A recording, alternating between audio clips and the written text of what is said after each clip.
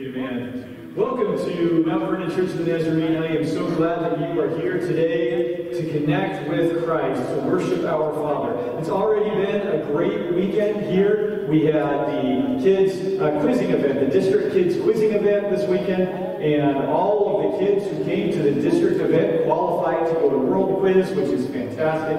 And all three of ours that were here today, Maddie and Lindsay and Adrielle, qualified to go to World Quiz, and they absolutely did fantastic. And Lindsay even got an All-Star medal. I think that's the first time that's happened, isn't it? All-Star medal for you? Second time? Second time she's got an All-Star medal. Absolutely fantastic. A great program. If you don't know much about kids Bible quizzing, please ask. Absolutely fantastic program. And the kids did wonderfully, and it was a lot of fun. And they have memorized uh, big chunks of the Bible for that. Very good stuff and I'm very thankful to be a part of that. One thing I want you to know about as we get started is a fundraiser that's coming up, and this fundraiser has to do with collecting old clothes. And most of the people that I know have old clothes that ought to be collected. I can think of my own closet, and you know, I actually have um, I actually have shirts in my t-shirt drawer that are older than some of my children. Actually, I have shirts that are older than all of my children. And so maybe um, I'm going to keep those ones. But the other ones I might actually not keep, and that would be, it's so simple, it's such a simple fundraiser, something you definitely need to find out about. And we have flyers handing out here at the church. If you'll not be in the building uh, anytime soon, but would like to know about that fundraiser and how easy it is and how uh, little involvement it actually requires for you and how much it helps us to raise funds that we can use to go down to Guatemala and help with the project down there that we'll be doing in 2022, well, and give us a call or stop by the church or send in an email. We would love to share with you how this is done. It's, it's such a fantastic and easy thing to do, and you definitely want to be part of it. And the other thing I want to tell you is that it's time to stop and praise the Lord. You know, uh, our lives get so full of stuff. Our lives get so full of all kinds of confusing distractions. And we begin to think to ourselves that maybe the, the purpose of life is fulfilling some of these distractions, going to work, raising the kids, uh, hanging out with family, working on the house, whatever it might be. We begin to feel that our life is involved in this one small thing. And, and, it's amazing how overwhelming our lives can become when we start to think that all our lives are is, is this little pocket that we need to deal with. When we come before Christ, Anytime. Saturday, Sunday, Tuesday, anytime. When we get down on our knees before Father God and the blood of Christ washes over us, the Holy Spirit comes and touches us and draws us into His presence, we begin to realize that there is a whole lot more to this life than, than we could ever imagine. To this life and to life eternal. There's just a whole lot more.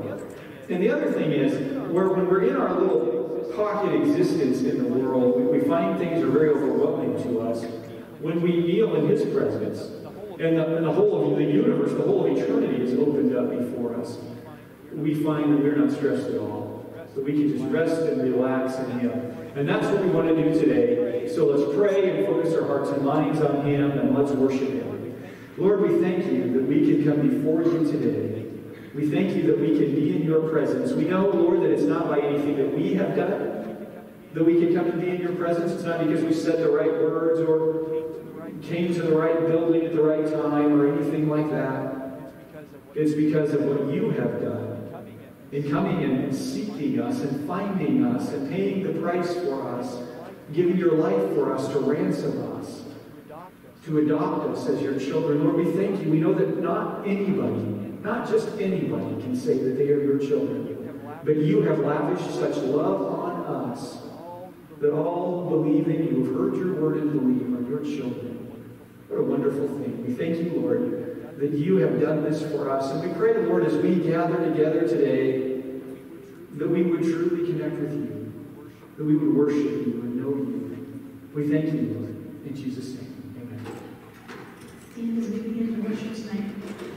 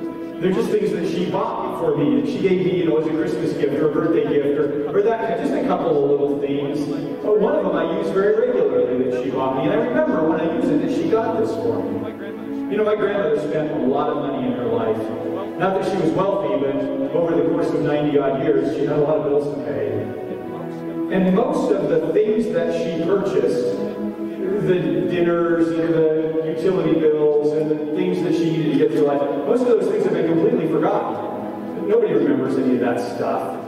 But there's a couple of specific things that she probably didn't have $10 invested in that she bought for me that I remember. You know, Christ loves us very much.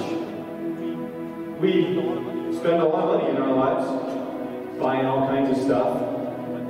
One day we'll stand before Him and He will remember what we gave to Him. Our whole lives, our whole hearts. And I think He'll remember every dollar. We give to Him because He loves us so much.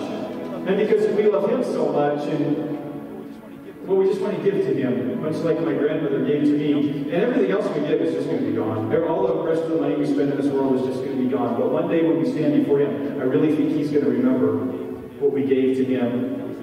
Those are the things that really have value, and I look forward to that. And as we give to Him today, let's remember that, that this is this we're giving Him because we love Him, because He first loved us. Let's pray. Lord, we thank you that you have come and spoken to us and drawn us in your presence and given us so much love and so much mercy, and we know that we can never repay. We're not trying to repay. We're not trying to somehow please you as we give. It's just you have given us so much, and we want to give to you. And we know, Lord, that these these things are the things that count for eternity. We thank you, Lord, in Jesus' name.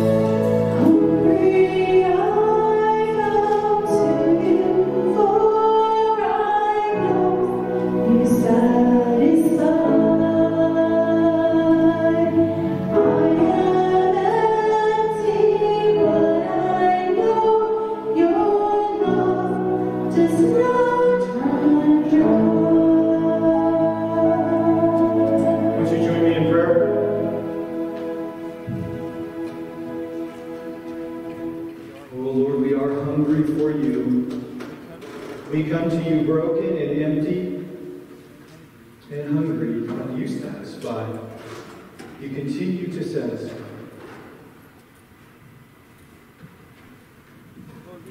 Lord, we are an unworthy people, and we know it. Lord, we know that you don't satisfy us because somehow we deserve to be full and satisfied. We know that you don't satisfy us because there's something so great about us.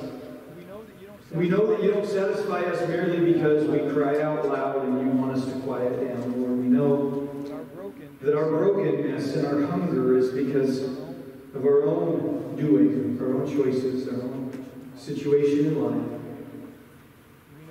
We know that the brokenness and the hunger is not just some spirit, some physical thing, but is a deep spiritual thing. And we know that you satisfy because of your great love for us, because of the great work that you have done on the cross, and the work that you did rising from the grave. We know, Lord, that you satisfy. Because it was your will that no one should perish, but that all should come to eternal life. Because you didn't come to condemn the world, but to save the world. Because you love us. You have lavished such a great love on us. How we thank you, Lord. Lord, we pray that you would increase our love for you and that you would help us to so desperately hate the sin that gets in between us and you. You would help us to detest anything that would keep us from knowing you more and experiencing more of you. How we need you, Lord. Prepare us, O God, for what you are leading us to. And we thank you, Lord, in Jesus' name. Amen. Amen. Amen. My son pointed out to me today that as we open the book of Acts to chapter 16, that we have skipped chapter 15. He said we were right from 14 to 16. What happened to 15? Well, I hope, I, I really do genuinely hope that you are keeping up with the midweek Bible study. Honestly, that is really the meat of, of the teaching here. It's that midweek Bible study. And as you know, it's available here in the building at 6.30 on Wednesday.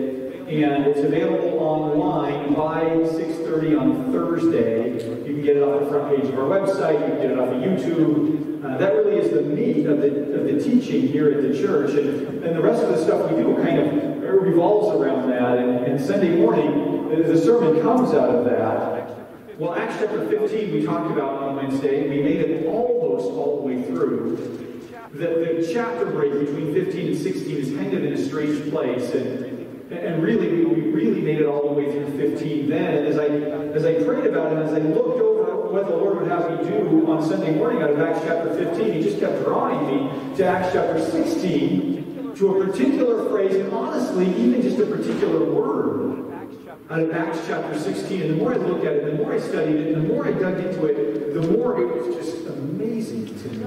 And it's out of, Acts chapter 16, and, and we'll start in verse 6. A little story that goes like this. Paul and his companions traveled throughout the region of Phrygia and Galatia, having been kept by the Holy Spirit for preaching the word in the province of Asia. When they came to the border of Mysia, they tried to enter Bithynia, but the Spirit of Jesus wouldn't allow them to. So they passed by Mysia and went down to Troas. During the night, Paul had a vision of a man of Macedonia standing and begging him, Come over to Macedonia and help us. After Paul had seen the vision, he got ready at once for Macedonia, concluding that God had called us to preach the gospel to them. Let's pray. Lord, even as I read these words now, I'm just startled by what you've done. And I thank you. So we pray that you would teach us what we need to know, and that you would supply in us what we lack, so that we can be the people that you have saved us and redeemed us to be. We thank you. Amen. Cross over to Macedonia, the man said, and help us. Cross over and help us. The crossover part's pretty easy. Paul was in what we now call the continent of Asia. There was a sea, the Aegean Sea, in his, to his northeast. And across that sea was the continent that we now call Europe. In order to get from the one side to the other, he would have to cross over the Aegean Sea. A man from Macedonia stood in his dream and said, Cross over and help us. Cross over and help. We know about people who need help, don't we?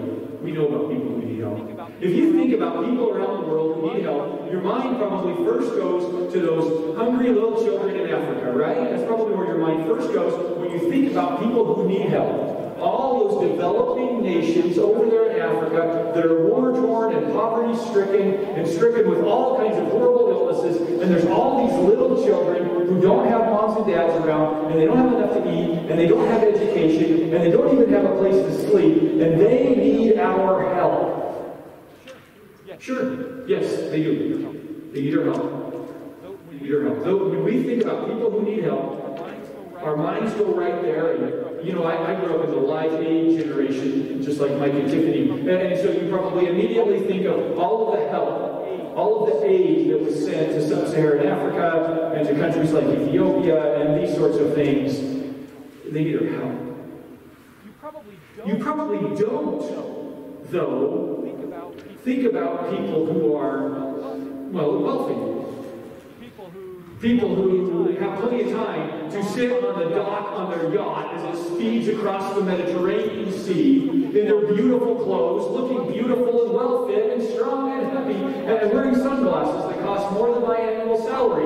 You probably don't think about people like that needing our help. But I want you to know they're every bit as needy and when you're thinking and when you're thinking about people who need help, and you're not thinking about the wealthy people with the yacht, you're probably not thinking about, well, the families in your neighborhood.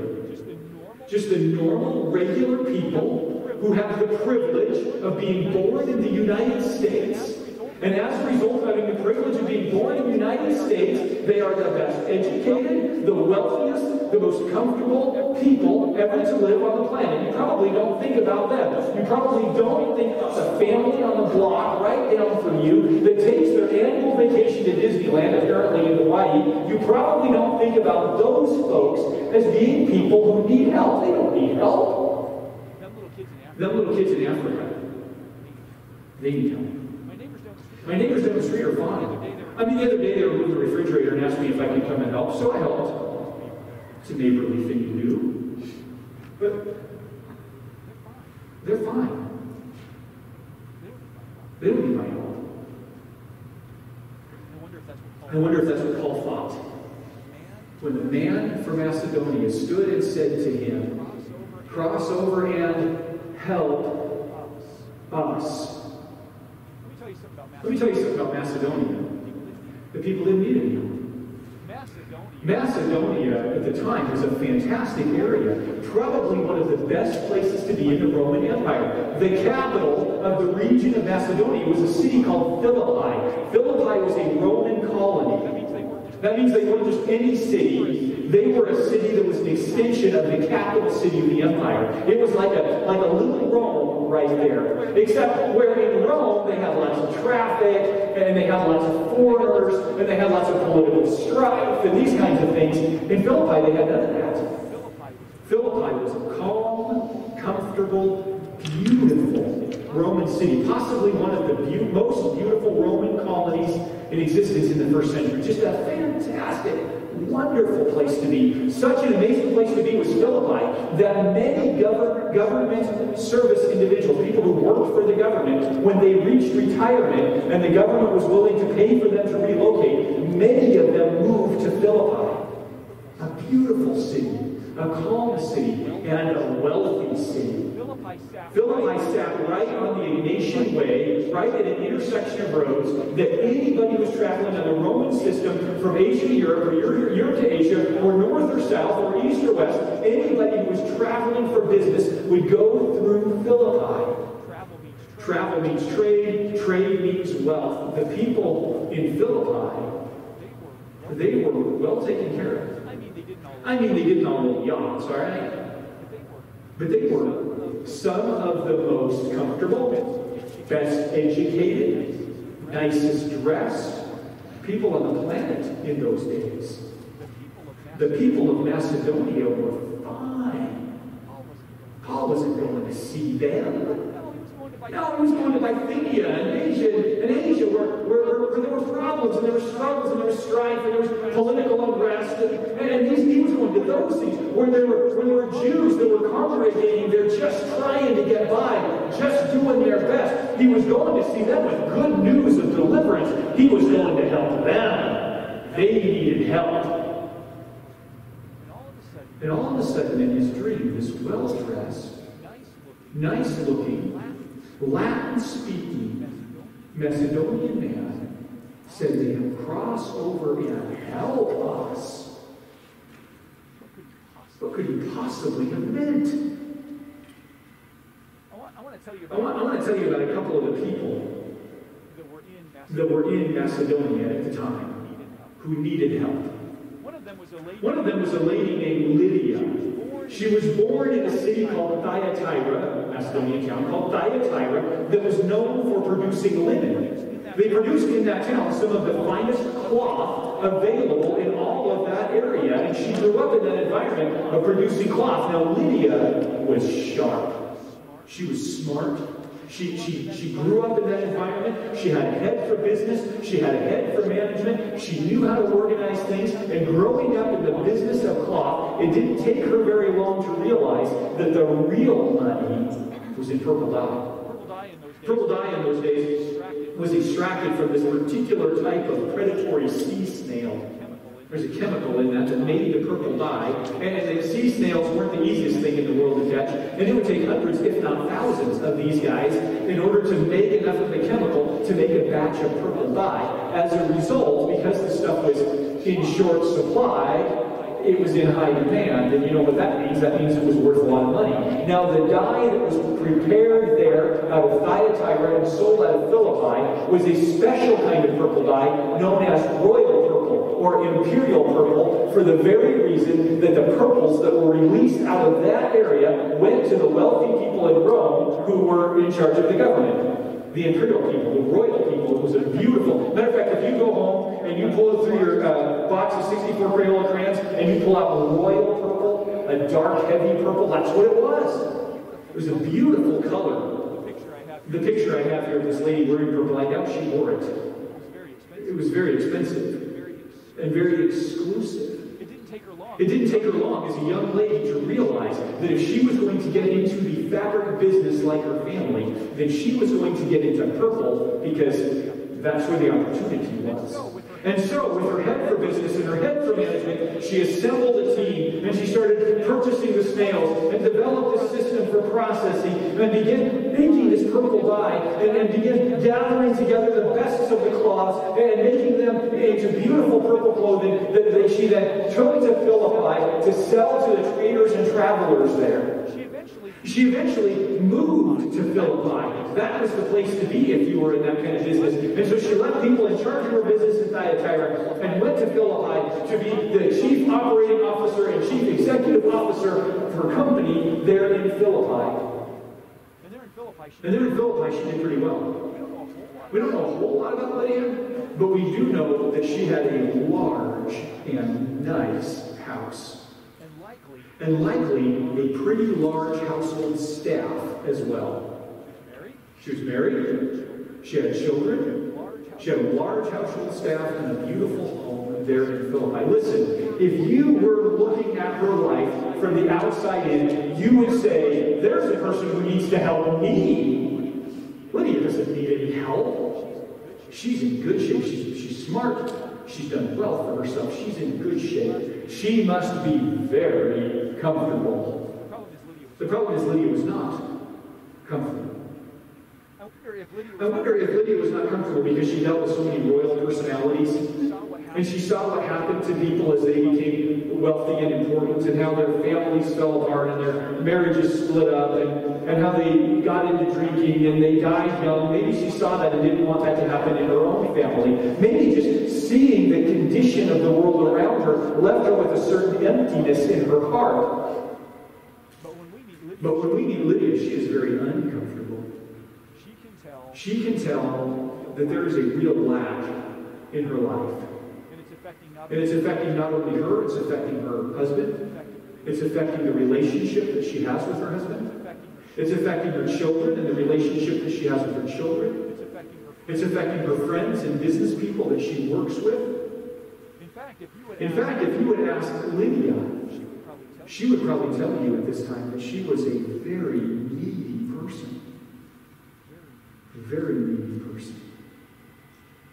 Let me tell you about somebody else. Let me tell you about somebody else that we're about to meet in Philippi. We don't actually know his name. Let's just call him Phil, because he's from Philippi.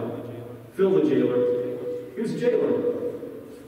Most of the jailers. Most of the jailers were retired soldiers. Now, living Now, living long enough as a Roman soldier, as a Roman soldier to retire is quite a feat. Because most Roman soldiers, well, they just went out in the front lines of battle and were gone. A vast majority of them did not live to the point of retirement. So living to the point of retirement means you're a pretty darn good Roman soldier, first of all. And secondly, it means you're a pretty important one. You've moved up through the ranks to the point where you can stand behind the guys that are going for sacrifice. You, you, you get to live a little longer. Well, Phil, our jailer friend, he lived to the point of retirement, which meant he probably put somewhere in the realm of 20 years into Roman military service. And he must have done a really nice job of it because when they asked him where he wanted to go to retire, and he said Philippi, they let him go there.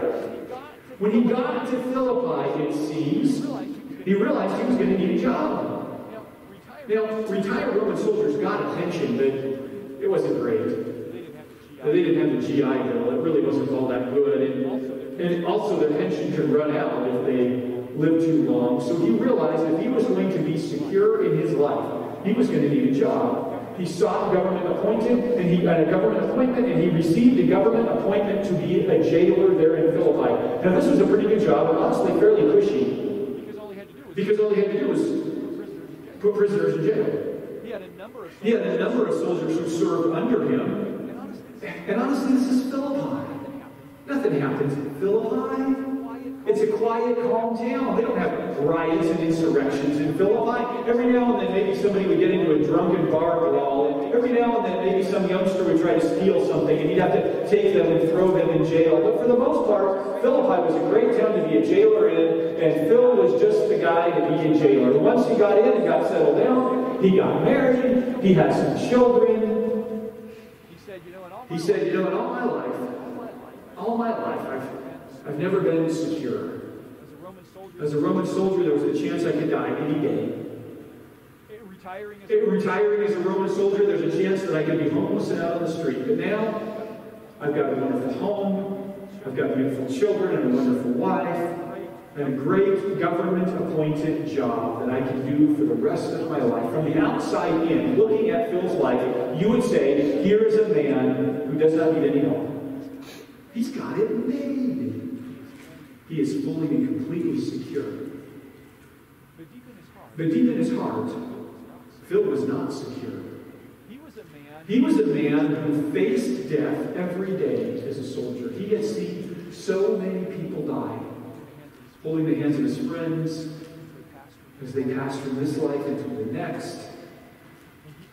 And he could see that there was just no hope.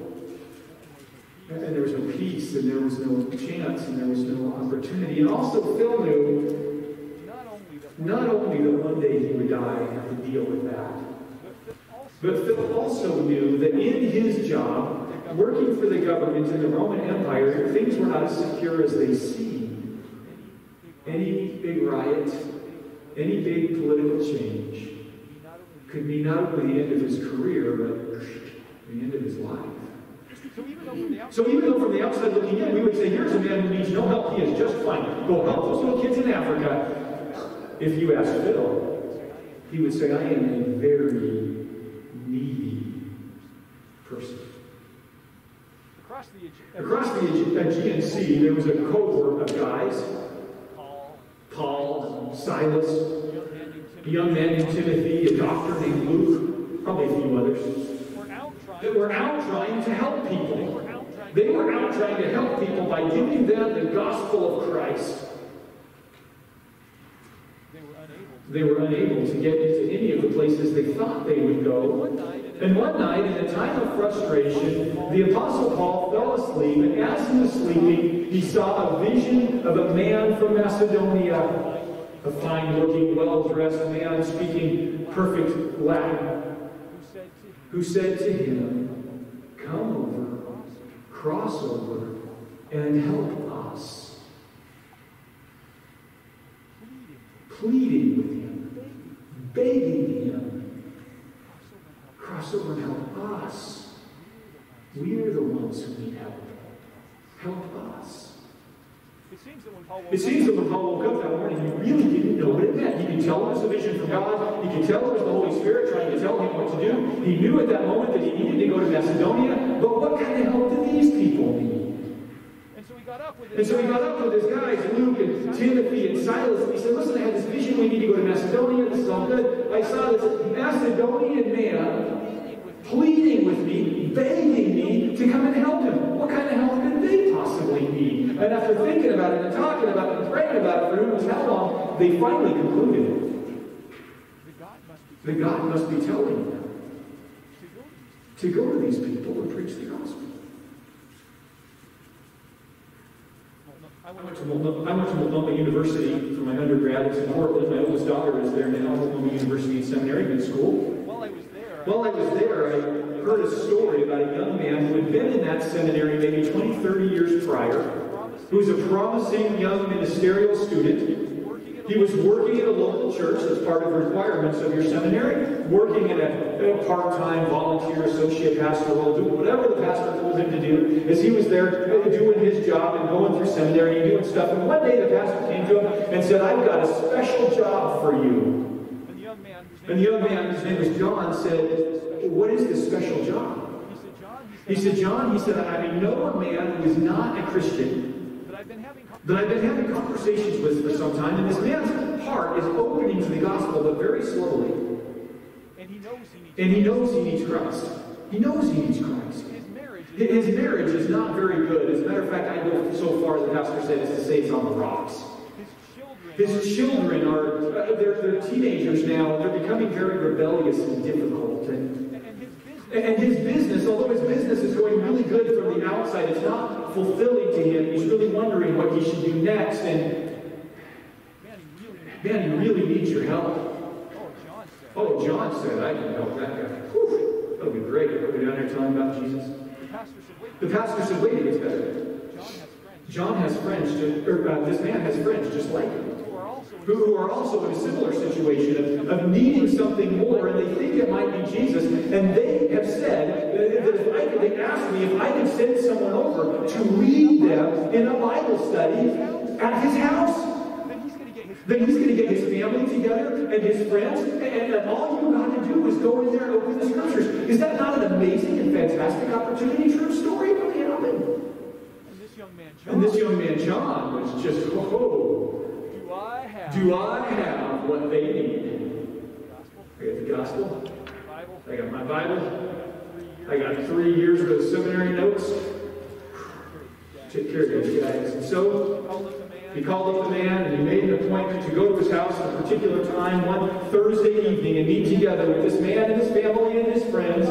And he got all his notes together and he got his Bible together and, and he threw them into his car, which was a piece of trash.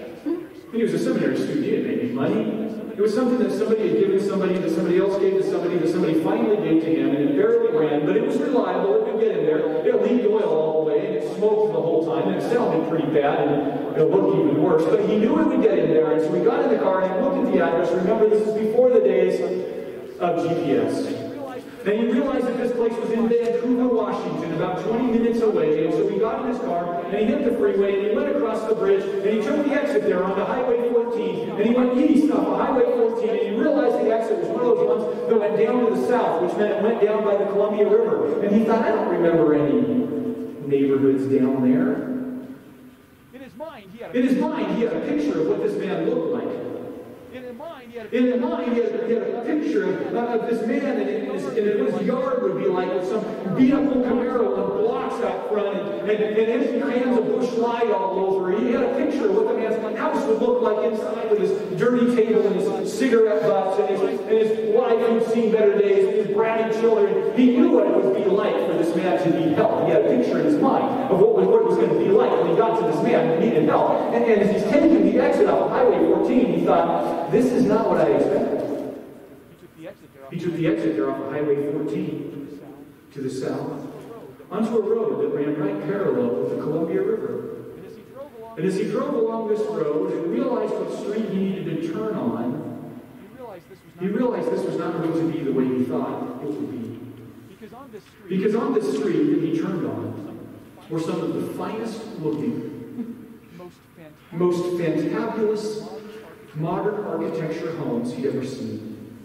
every single one of Every them single one of them, the front yard ended at this beautiful cobblestone street, and the backyard ended on the Columbia River. They were huge and they were beautiful. he actually stopped, He actually stopped his car in the middle of the street, double checked his instructions, and said, This can't be right. These people don't need any help. This man grew up. This man grew up in a situation where everybody he knew was just kind of poor. Everybody he knew was Everybody he knew was just kind of poor. I mean, they were all getting by, they were all skimming by, but they were all just kind of poor. And, and he was not a prejudiced man. He didn't care what color you were, white, black, yellow, red, didn't matter to him one bit. But he did have a little bit of a prejudice against the wealthy people. He always felt like they kind of. always felt like they kind of looked down on him. I mean, they had. I mean, they had everything. Everything. They didn't need anything from him. and as he sat in his. And as he car, sat in his car in that street, that prejudice began welling up in him. He said, These people don't need anything from me. Why am I even here? But he felt the Spirit of God pushing him and reminding him that he was there to tell them the gospel. And so he pulled his car up into their driveway, hoping it didn't leak too much oil, and parked right behind a beautiful brand new Mercedes, right next door to a shiny black BMW sports car. And he got out of his little piece of trash, and he grabbed his Bible and his notes, and very meekly and with a pounding heart in his chest, he went up and knocked on the door. And he met one of the neediest, And he met one of the neediest men he'd ever known. a man who was wealthy, A man who was wealthy beyond John's wildstreams. wealthy, Wealthy just beyond.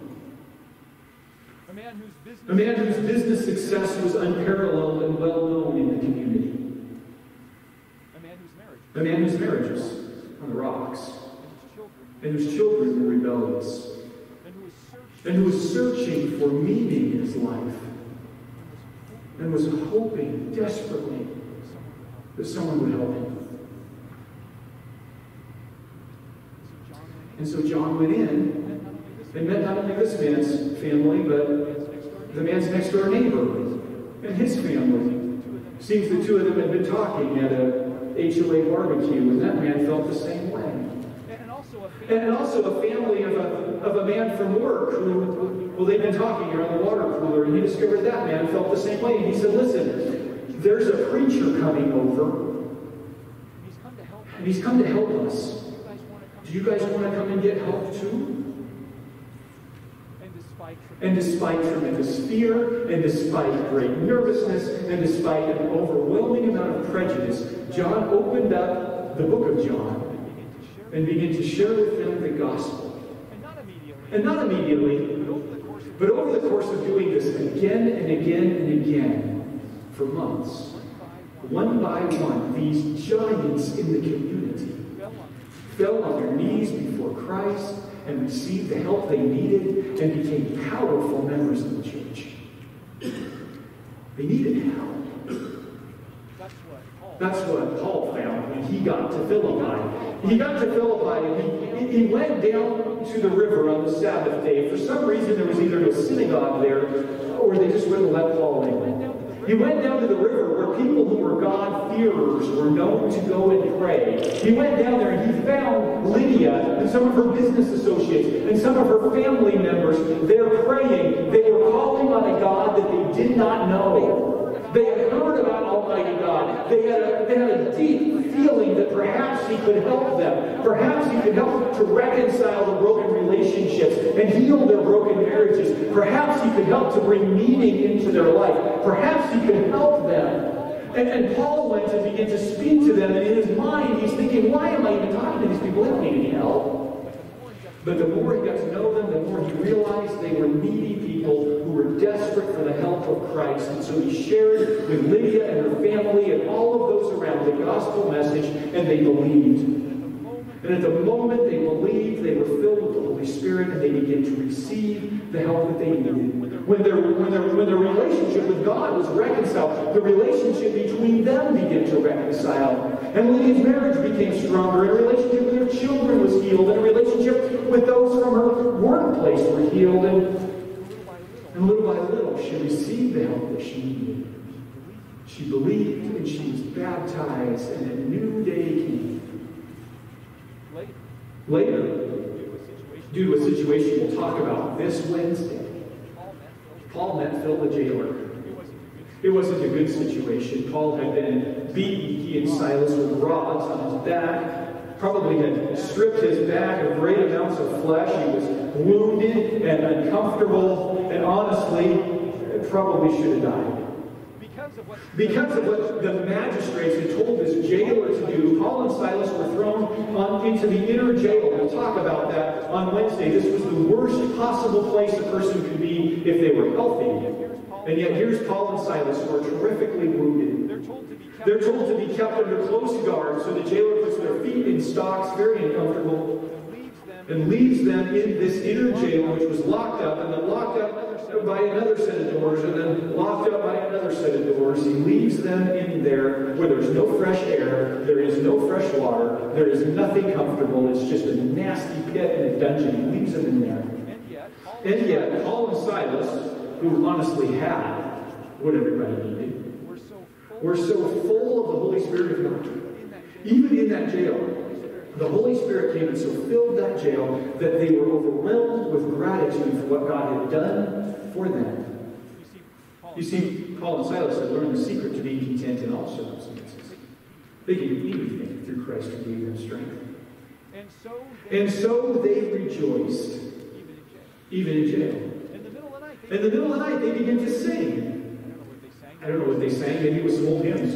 Maybe it was some of those. Maybe it was some of those new 7 and 11 songs. You sing seven words 11 times. Maybe it was some Gaither because he lives. I'm not sure what they were singing, but they were singing it loudly.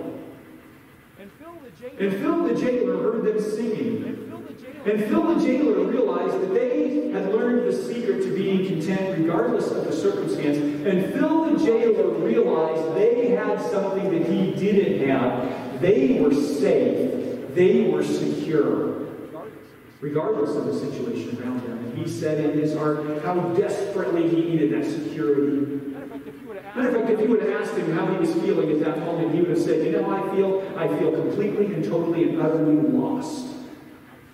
I have a beautiful house, wonderful wife, great kids, fantastic job. And I am completely and totally lost. well, you might know the story. Well, you might know the story. The more that Paul and Silas sang, the more the Holy Spirit of God became active. There was a mighty earthquake, not unusual in that area. There was a mighty earthquake. That rocked the foundations of the prison, and all of the doors were swung open, and the stocks on their feet and the chains on their hands just fell off.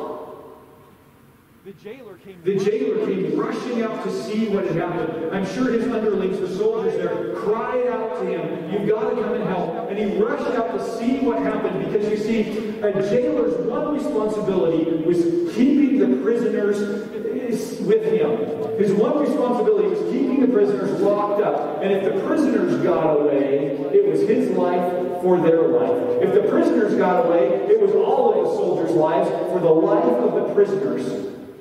The jailer. Rushed out to see what had happened. He saw that the doors were open and saw that the bars were off, and he drew out his little dagger. They all kept a little dagger right inside their left sock, as it were. They could pull out at a moment's notice. He drew out this little dagger and he held it up to his heart, and he said, I may as well just do myself. All of my life. All of my life to provide this kind of existence for my family, for my children, in my community. All of my life I've worked to, to, to have a sense of importance, to have a sense of significance, to be somebody, and to have security. And in this one moment, it's all gone. And when the magistrates find out that the jail has collapsed and that the prisoners have fled, they will flog me in the public marketplace, they will humiliate me, they will sell my wife and children as slaves in front of my eyes, and then they will chop off my head. And I don't want to see any of that. And so I may as well just do myself in. Life's not worth it. He held that dagger up to his heart, and at that moment, the Apostle Paul cried out, Wait! Don't harm yourself. We're all here. And the jailer realized that Paul and Silas valued his life above their own. that Paul and Silas were unwilling to leave a place of great peril so that he wouldn't be in peril. He realized that they had found a measure of security he had never known. And so he fell And so he fell on his knees before them and he said, What must I do to be saved? man we don't like that Man, we don't like that phrase much in our culture. what must I do What must I do to be saved? Because being saved implies that before you were saved, you were lost. Being set free implies that before you were free, you were in bondage. Having hope implies that before you were hopeless. Being saved implies that you were lost. But that's what the Bible tells us. That before Christ, we're lost. the Bible tells us that all have sinned and fallen short of the glory of God. Sin is not some big violation of a list of rules. Sin is a violation of the relationship that God has made us to be in. He's made us to be in a relationship, and like any relationship, it has parameters. And we've chosen to step outside of those parameters, and that's what the Bible calls sin. It's just open rebellion against God. It's just saying to God, I don't want you, God. I don't want to have you be Lord over me. I want to do it my own way. and in our own And in our own selfishness, we seek to please ourselves rather than to be in relationship with Him. the Bible calls that And the Bible calls that sin. However, that has played out in your own life. All of us have done it. The Bible says all like The Bible says all like sheep have gone astray. We just wandered away from Him, just chosen something else. and as a result And as a result, we're lost well, we're lost. like sheep who Like sheep who wander wander off, we're lost. and the Bible says that And the Bible says that the wages of sin is death. That what we earn for that, for this rebellion, is that we die. That's what the Bible says. Because you see, God is the great life giver. He gives us life, and if we say, I don't want you, God, I don't want anything about you, well, then I guess we don't get life. and the Bible says that And the Bible says that if we die now if we die now, if we go through our if we go through our life like that and say, I, I don't want you, God, I'm going to depend on me for my satisfaction, fulfillment, for my peace, for my security, for my comfort, I'm going to depend on me.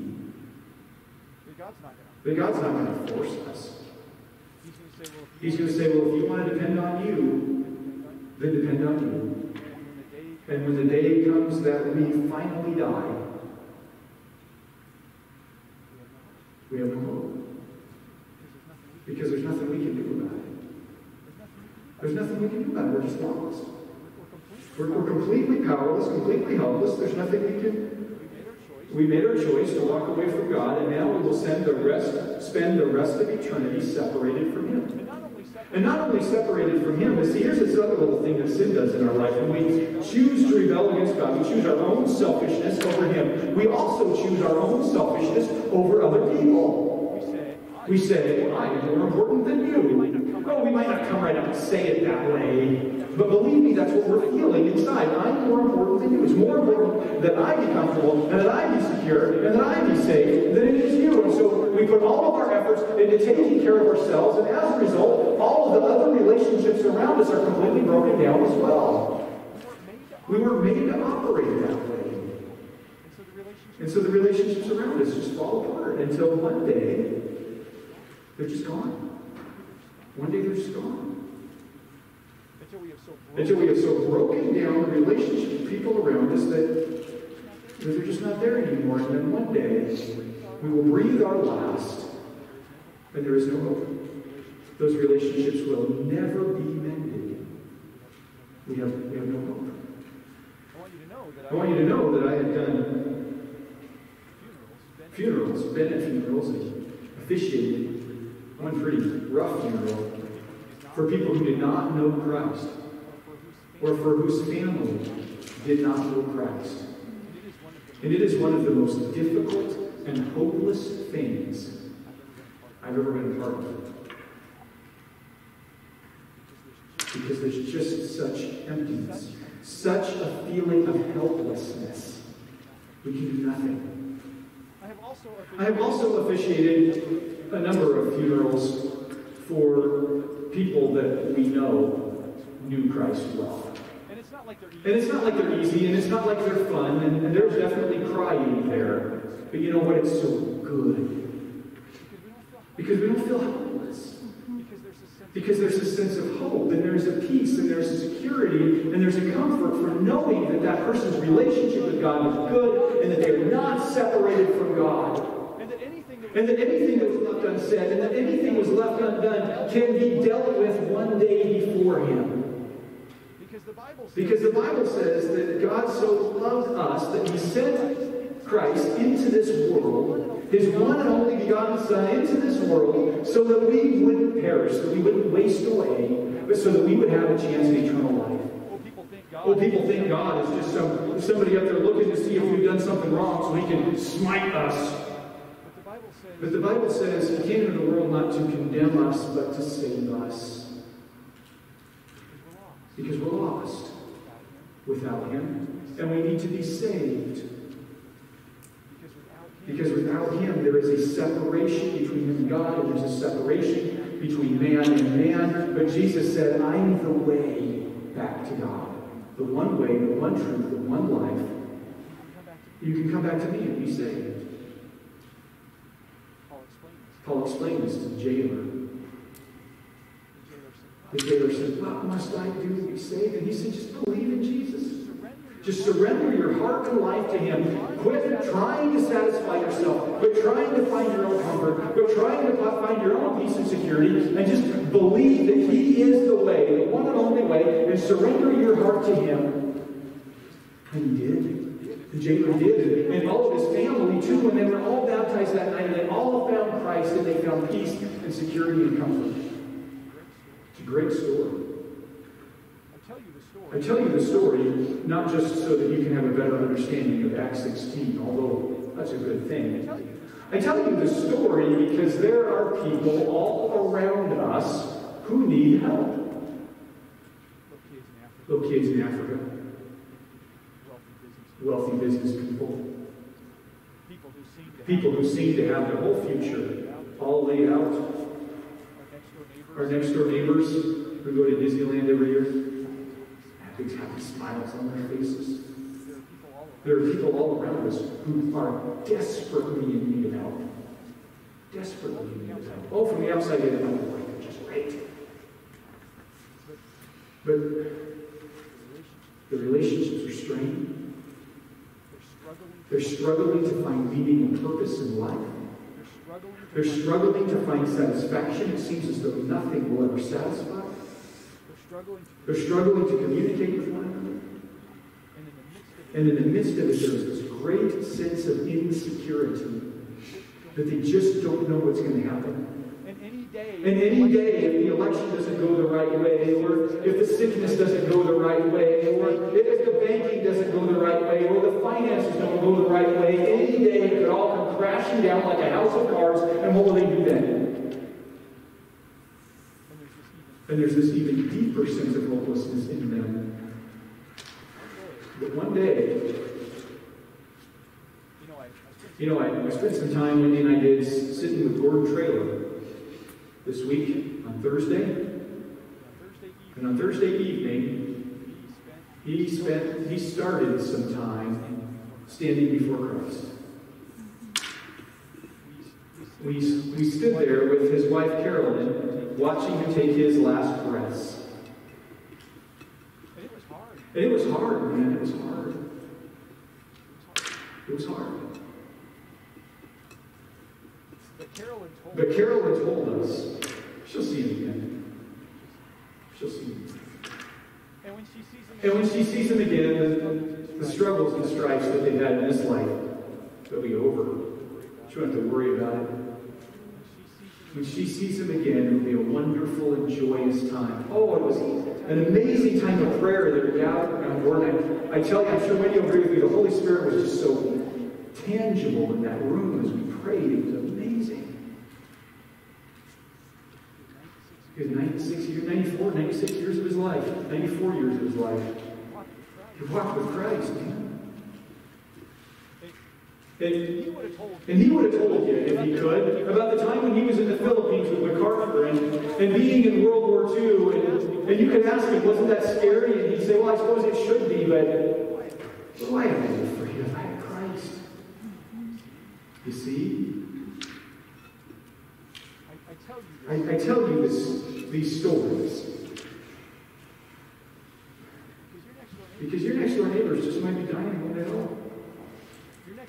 your next door neighbors just might be struggling with their children, in a marriage that's falling apart, and looking for some kind of peace and satisfaction and fulfillment in this life, and they're just chasing their own tail.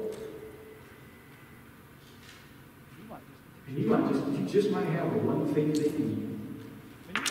And you might have been thinking for a long time, I think I'll go down here and serve the Lord over here. I think I'll go over there and serve the Lord over there. I'll go to a foreign country or a foreign city or on this mission trip. I'm going to serve the Lord in this other place. And maybe you've never been able to. And maybe it's because He says, listen, there's some people that are calling out to you right now. Cross over and help us. Cross over the street. Cross over the yard. Cross over the driveway or the checkout stand or whatever it might be. There are some people calling out, pleading with you. You have the thing I need, help me. But then I also tell you, But then I also tell you these stories because it's possible. It's possible that it's you. that you're the one That you're the one who's saying, Would somebody please cross over and help me? because I hear what Because I hear what you're saying and I and I can I can really relate, you tell me, with Lydia in Philippi, or with Phil the jailer, or with that one guy that was asking the pastor, would you please send someone to me? Maybe you can really relate. Maybe it's you. here's what we're going to do. We're going to sing a song. And as we sing that song, And as we sing that song, I, I would ask you if you would open your heart and open your mind to the Lord and listen and see if He is saying to you, hey, there's there's somebody across the street or across the way or across the classroom or whatever it might be. There's somebody who needs what you've got. maybe you would And maybe you would let him speak to you. and I, and I really want you to stop and think, is it me?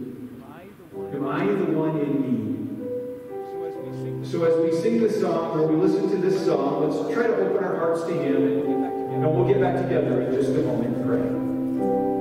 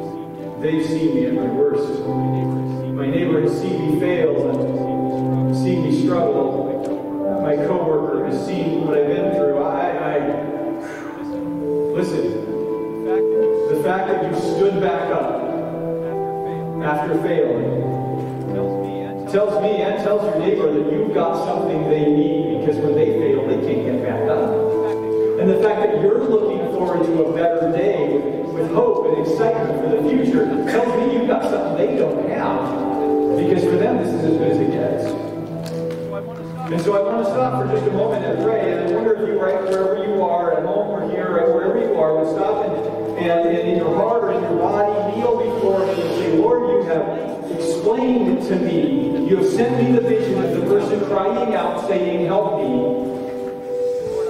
And Lord, I, I don't know how to do it, I don't know what to say, I don't know how it's going to work, but I, I am available to help them. And with a pounding heart, I will step up and help them when the time comes. That's saying, hey, I am the one that needs help, the Holy Spirit is here and He's leading us, He's calling us. And He's saying, just come and surrender yourself to me, and and I'll give you everything that you need for life and godliness, for security for now and forever. So let's let's stop and pray. Lord, how we thank Lord, how we thank you for bringing to mind people who need you so desperately. We thank you for the faces that you've shown us and the names that you've given us. And Lord, honestly, we don't know what to do. we agree with We agree with you that these people need help, and we want to see them know you, Lord. We, really desire. we really desire that they would know you, but we don't know what to do. But Lord, we also know that you have told us in your word that there are times that there are times when we don't need to worry about what we'll say or how we'll say it, because the Holy Spirit will take care of that at the right time. and Lord, we see it And Lord, we see in your word that you make the connections and you make things happen. and so Lord, we're And so, Lord, we're, going to be available and we're going to be looking for that opportunity. And Lord, as we bow before you right now, we want to commit we, want to commit to you that when you make the opportunity available, we'll take advantage of it. Yes, Lord, we want to Lord, we want to commit that when you make the opportunity available, we'll take advantage of it. and we'll just make sure we'll just make sure these people know the hope that we have, that you've given us. And Lord, we know that not like they're it's not like they're necessarily going to immediately fall before you like the jailer, but if they do, oh, they'll praise you. we know that it might We know that it might take a long time. we know that one But we know that one day, Lord, you are calling to them, and that we get to be a little part of that. And one day, Lord, we pray that they'll respond to you. And Lord, for the one for the one who is tonight saying, That's me, I'm the one who needs the help. Lord, I pray that you would touch them now and draw them to you. and if that's you And if that's you, will you just pray along with me? Lord Jesus I need Lord Jesus, I need you. you to help I need you to help me, to save me. Lord I want to leave Lord, I want to leave behind the things that have pulled me away from you, the things I've chosen, the selfishness that have pulled me away from you. Lord I want to leave those things behind so that I can know you instead. Lord, will you please save me now? If you have prayed to Him that way, know that even right now He is delivering you and saving you. And we will pray for you that His Holy Spirit comes and touches you and draws you to Him. And if you have prayed that prayer, it is so important that you tell someone. Tell someone trusted, a, a- a trusted Christian friend. Tell me, and we will pray with you and lead you right to the feet of Jesus where you can be fulfilled. let's pray let's Let's pray and let's worship. Lord, we thank you for saving us, for drawing us to you. and Lord we pray that you will save our friends and neighbors too. We thank you, Lord, in Jesus' name. Amen.